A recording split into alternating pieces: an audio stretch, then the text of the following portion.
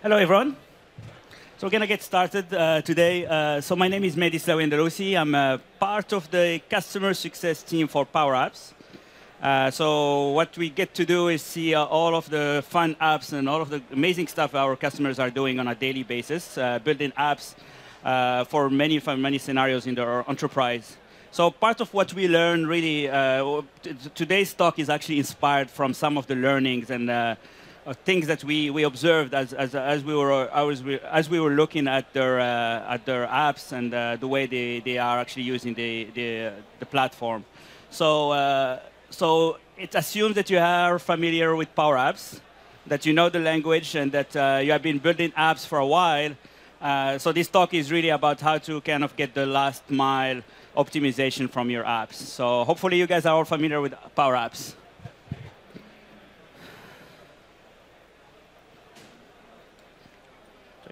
Clicker. So I'm going to start with a simple example. Today's demo, uh, what I'm going to show really is, uh, is ha what happens behind the scene when you bind your UI to data when, when you are working with Power Apps. Uh, so the typical scenario is you will have a gallery control or some sort of UI really bound to a, to a table. In our case here, I have a simple relationship uh, between a project and, uh, and an owner. Uh, so every project in, uh, in here has an owner, so we have a lookup relationship that we'll have to implement to render this, uh, this UI. I'm going to switch the, to my uh, studio here.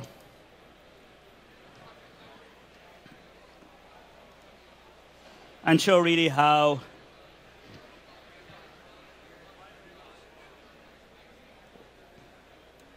What's that? Sorry. All right, so this is the studio. Uh, you must be familiar with it, uh, I presume. So as you can see, I have a, a regular gallery control uh, bound to a, to a table, uh, project table. So it has priority names. It's a very simple scenario of uh, displaying project items. And uh, for every project, you have an owner right here.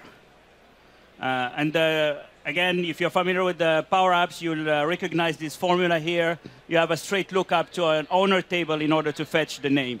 So very straightforward uh, operation. Uh, but behind the scene, uh, there is a lot of uh, things happening in order to make this happen. So I want to show the app just uh, in, in real time.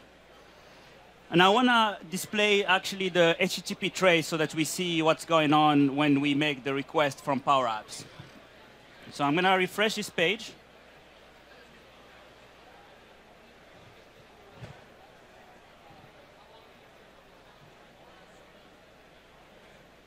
And it's loading. We have a slow connection here, but we'll see here the HTTP traces uh, of Power Apps. Make sure we are staying here. And you notice how, how, the, how the, the project got rendered, and you see there is a little bit of delay for the names to, to, to appear, so uh, project owner names to, to show up. It takes a little bit of, a little bit of time, but you can see clearly here that that uh, we did load the, the our, uh, our collections, we loaded the project table, and then we loaded the owner for each one of the projects. So typically what users do is, is, is this. So they, they bind the, the project as we saw, and uh, behind the scene, we see that Power Apps actually made a call to the project table right here. And it fetched the first 100 items, uh, and, then, and then it started calling every, for every single item that we see in that gallery, it started calling uh, the owner table. So it's another query. So you can see here we had about 16 calls. We downloaded about 23,000 bytes. Uh, and it took a little bit, a uh, little bit, well, it took a while for this, in this particular case, uh, 30 seconds. Uh, so it's quite a bit, and we're going to contrast this to another way of, of approaching data loading for Power Apps. So I'm going to switch back here. And I'm going to switch back to my presentation real quick. So rather than, than, uh, than loading uh, everything uh, the way we did before by binding directly to a gallery, what I'm doing here is I'm actually binding, um, I'm actually uh, downloading the project table into a local collection, and I'm doing that for the owner table. So basically, I'm doing local caching, uh, and there is a gotcha here. There is a cap to, to how many items you can download.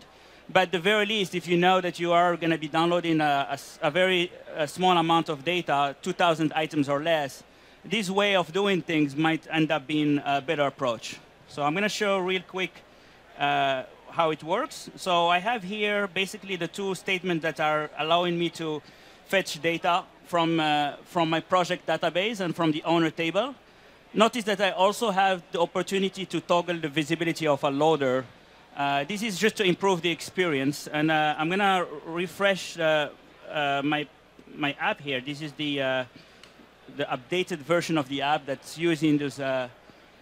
notice that I am actually doing I'm doing a, a, loader experience, which is always a nice thing from a user's perspective, uh, versus the other way of doing it, which uh, you know lets the user not really be aware of what's going on until the, until the data loaded. The other thing that you notice is that the, everything appeared at once, so that's also ends up being a much better user experience. So I'm going to just uh, go back to uh, Fiddler here and, uh, and show the, the difference between the two approaches.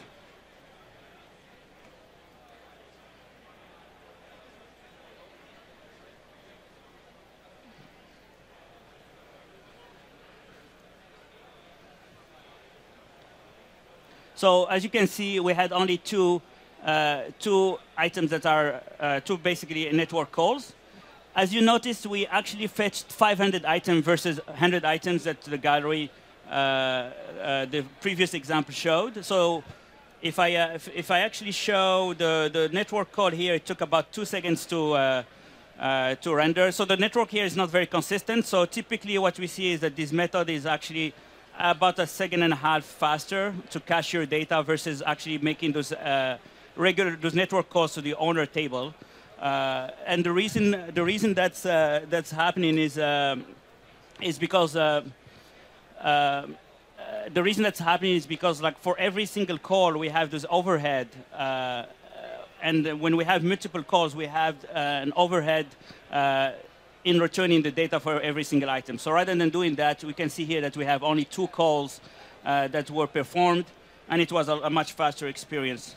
The other thing is that we had the opportunity to, uh, to show the loader experience.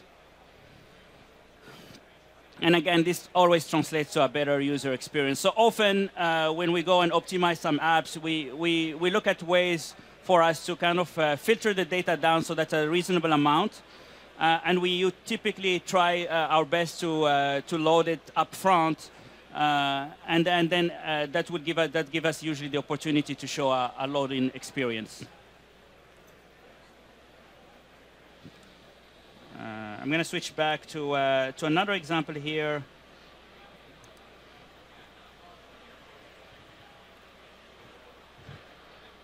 So the, the same example I gave earlier, where we were actually loading data from server. But another optimization that you could consider for your app is caching your data locally. So that helps usually, so basically storing data in your devices.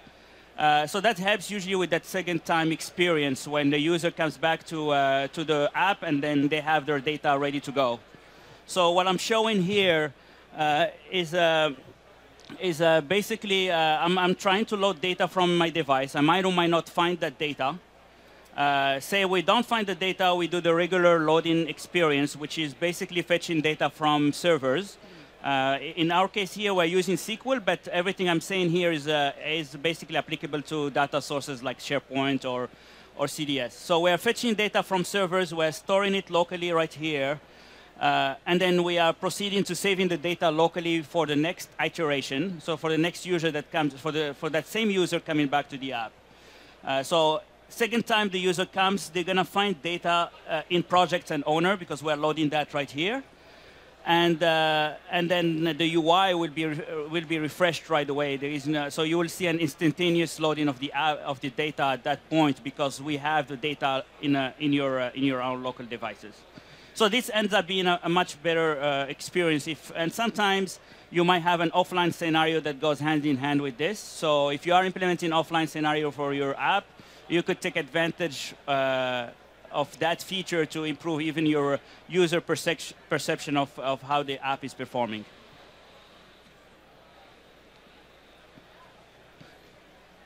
So the next thing here is a concurrent call. So we have seen a lot of those real world situation where uh, uh, customers and uh, trying to kind of uh, squeeze in the most uh, out of the platform. Today, the platform doesn't allow you to do really truly concurrent calls. And one way to do that today is to use timers. I don't usually recommend doing this just because it becomes harder to maintain. but it does help in case you need to make a parallel calls for your APIs. Uh, the team is uh, the the product team is working on a on a function that's gonna look something similar to this. So it's coming, it's gonna come soon, but it will basically allow you to make a concurrent call for your APIs or for your data sources. So running parallel is coming soon. For, but for now, what we see here is that I'm, I'm setting up timer one and two. Each one of them will trigger at a certain uh, point, uh, making an API call, and the data might come back uh, at a different time and that's why you have a final timer that keeps checking whether the data is, is back.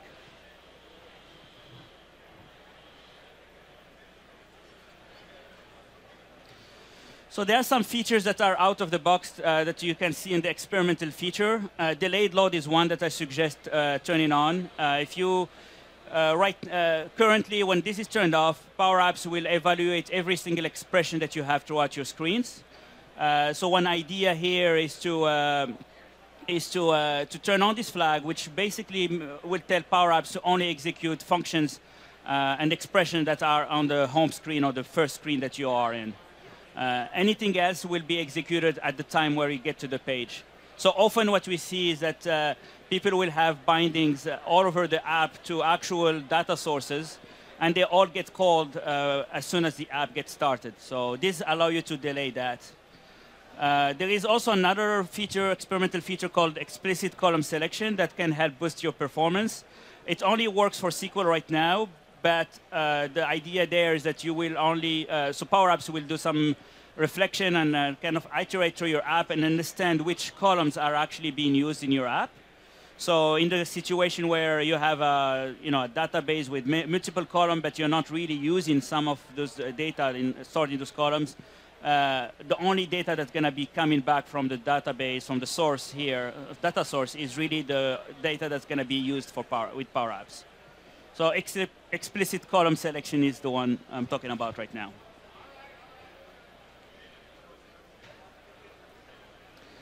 Uh, well, before I actually uh, go to the next screen, uh, the last uh, last time item here is you can see here you can you can set a max number uh, today by default when we fetched our, uh, our uh, data from the server using the clear collect method. We, uh, we, uh, you notice that it actually gave us only the five first-handed items. Uh, the, and, um, and that sometimes might not be the ideal situation. You might want to increase that to 2,000 items if you are in, in that range. clear collect has that maximum. The query that you're going to be calling is going to have up to 2,000 items. Uh, and uh, so if you find yourself like 500 is you really have a database would have a bit more than 500 items, you might want to increase this value. Uh, and the max there is 2,000. So another thing that we see often is uh, formulas. Uh, uh, here is a simple example. it's something that someone needs to review as, as they are going on their final review for the apps. So we see often things like a filter operation with a profile being pulled or an API call right here. And each time someone do a, sort or a search, uh, the Office 365 API in this example will actually be triggered. So there is a lot that can be done just from looking at, at, at, at your uh, formulas and filters and uh, sort operations uh, in order to optimize. In this particular example, the the alternative is to simply uh, encapsulate that call into a current user email. So you would be calling this, this particular function uh, maybe on your OnVisible of that page or on your OnStart. Uh, you know that your profile is not going to change during this session or unlikely to, to change. Uh, so you, you save that value into a variable and then you can go ahead and do your, your formula here. Uh, but those what I'm showing here is something we see often, and it ends up actually uh, really impacting performance of your uh, of your apps. Another example, uh, it's a simple example again. um, we have, uh, we, I've seen this uh, many times. You, you have a first and a filter. A filter operation will always go and get a bunch of data. So it's a, it's a collection of data that comes out of a filter. Uh, so you will have some sort of condition. People will do filter project, and then and then they will get all of that collection from the database or from the server, from the data source, and then they would take only the first item. Uh, and typically, it's always always better to do a lookup operation in this particular case, just because you're going to get one one item. Uh, I'm often surprised how often I see that first statement, and, and in fact, a simple a simple change uh, can make a big difference as well here. So formulas, it's something that also can impact uh, uh, your performance, and it's something to take into account when you uh, when you when you're working with with Power Apps formulas there. So. Uh, file optimization is a given, so we all did the HTML uh, development. Uh, people um, uh, tend to forget to compress images. That's something I do myself. Uh, I, uh, I, it's always a good thing to compress your asset, whether it's videos or images. if you know that you're not going to use transparency, use JPEG put your images in a CDN. That way you make use of uh, all of the geolocation stuff so that actually the, the data gets loaded quickly for the user. There is some opportunities for you to also preload assets within your app. Uh, you could use uh, gallery control in a transparency mode uh, in order to force trigger all of the images calls to your, to your images. So you force the network call, uh, and then what's happened is that those images will start getting downloaded on the background. Uh, and then by the time someone gets to a page or a screen where the image is needed, uh, then it's then it's going to be available for them. So preloading asset is always also a, a, a good thing to to take into account here. Uh, today, that's another thing that people uh, need to be aware of, and it's documented in our documentation, but it's sometimes over, overlooked. If you're doing a massively, uh, if you're going to scale your application to thousands and thousands of users, know that there is a throttling that's happening uh, in our connectors. We have, uh, today we support up to 600 requests per minute uh, per user. Uh, that, that gives you plenty, but it's, it is a limit that someone needs to build their app and keep that in mind and you can do up to 30 concurrent users, uh, uh, 30 concurrent calls per user. So.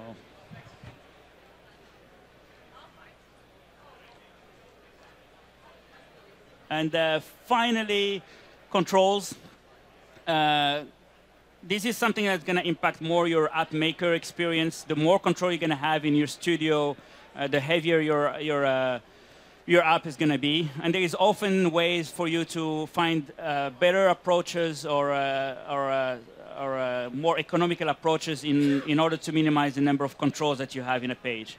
An example here is just the use of gallery control rather than the canvas control uh, in order to display uh, something similar to this where typical, typically you would want maybe a data control, a canvas control with data cards in them.